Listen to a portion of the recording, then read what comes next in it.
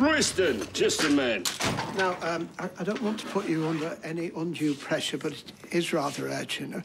I want to get Carla settled in as All soon as done. possible. All, all done? All done. Wasn't as big a job as we thought.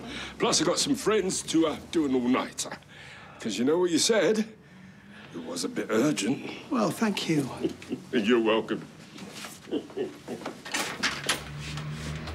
So hang on a minute. That money came along from people coming together, right? Positive energy, just like you said.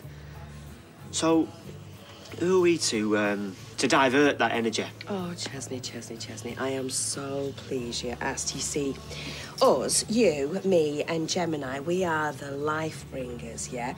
We are the children of the future. No, we you're not to- having the money. Ches! That money is going straight in an account for the quads. Ches, don't you dare.